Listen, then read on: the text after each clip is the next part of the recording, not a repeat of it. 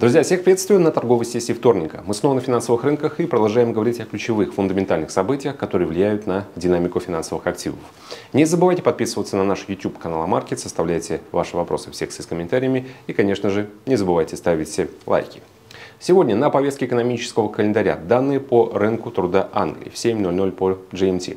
Далее в 12.00 по GMT ждет э, нас доклад ОПЕК, опять же по соотношению спроса и предложения на рынке углеводородов. Я э, уже много неделю назад анонсировал вам э, наличие потенциала для э, снижения э, котировок бренда, да и в целом развития нисходящей динамики нефтянки. Но, к сожалению, уже полтора месяца мы, по сути, топчемся на одном и том же месте. И хочется верить, что какой-то, вот, может быть, изначально недооцененный фундаментальный релиз, но может стать источником вот этого необходимого движения и в данном случае развития нисходящей динамики. В 12.30 по GMT ключевой отчет этой недели как минимум. Данные по инфляции в США. И закрывать торговую сессию будет отчет от Американского института нефти по запасам нефти США в 20.30 по GMT.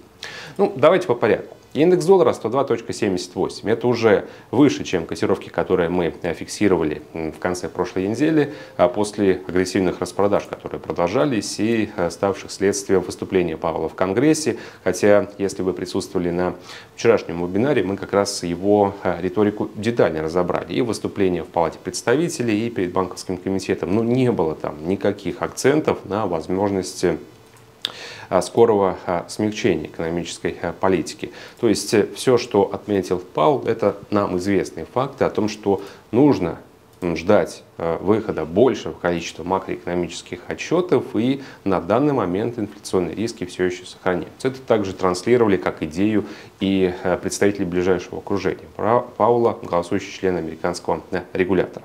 Данные по рынку труда Non-Farm Payrolls, которые вышли в конце прошлой недели, неоднозначный эффект на рынок оказали, потому что 275 тысяч новых рабочих мест, с одной стороны, очень хороший показатель, но с другой стороны, вырос уровень безработицы с 3,7 до 3,9%. Это максимум за два года. Очень странные цифры, кстати, учитывая рост количества новых рабочих мест и то, что практически не изменилась доля экономически активного населения.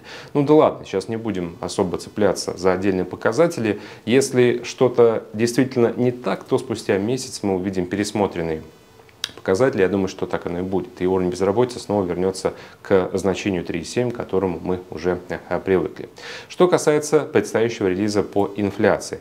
Ожидается, что общий индекс потребительских цен так и останется на отметке 3,1%. При этом в месячном выражении может быть зафиксирован рост на 0,4% против прошлого роста на 0,3%, когда или после которого, после выхода этих данных, американский регулятор насторожился и сделал акцент на то, что его теперь больше всего беспокоит тот факт, что темпы снижения инфляционного давления, они очень сильно ослабли. И э, нет уже надежд на том, что э, то, как быстро инфляция снижалась э, в прошлом году, эта тенденция сохранится.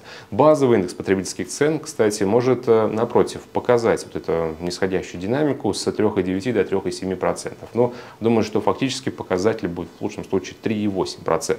Поэтому сегодня высока вероятность сюрприза. От отчетов может быть зафиксирован значительный рост в месячном показателе, что базовый индекс потребительских потребительских цен, что и основного. Поэтому нужно готовиться к тому, что на рынок очень быстро могут вернуться покупатели. Потому что чем выше будут там, данные по инфляции, чем существеннее они превзойдут оценку экспертов, тем больше у рынка будет оснований снова говорить о том, что американский регулятор вряд ли пойдет на снижение ставки даже в июне.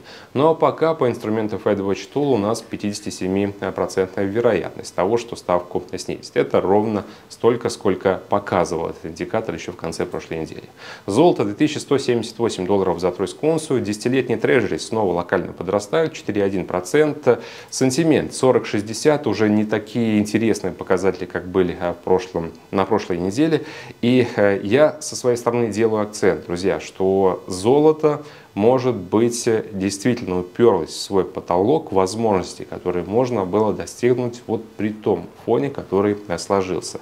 Поэтому, если вы все-таки раздумываете, что делаете, вероятно, сейчас, особенно перед выходом данных по инфляции, уместнее просто зафиксировать результаты тех сделок, которые уже удалось провести и зафиксировать тот профит, который удалось э, получить.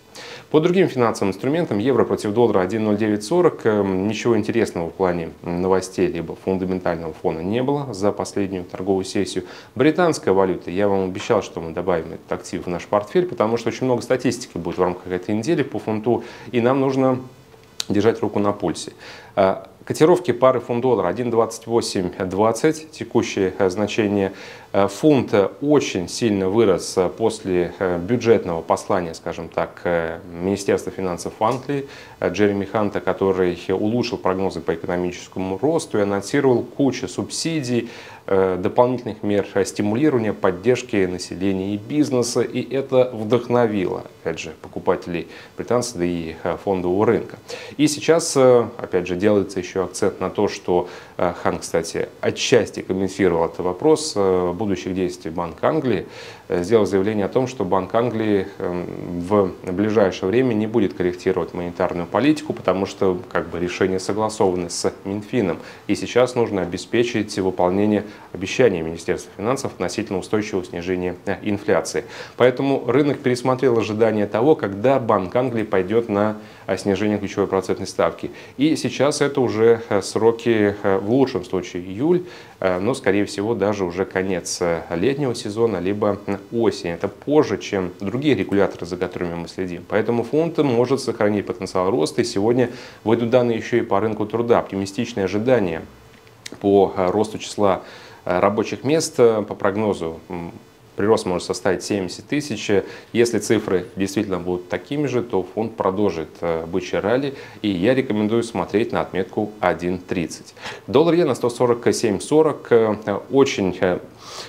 поддержали, скажем так, мягко говоря, эм, позиции покупателей иены данные по ВВП, в частности, показатель по экономическому росту. Это оценка прошлого года на основании оценки еще за четвертый квартал прошлого года.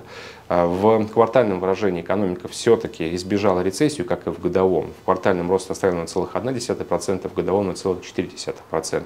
Важное событие, важнейшее событие для э, будущих действий Банка Японии – это переговоры по заработным платам, которые состоятся завтра.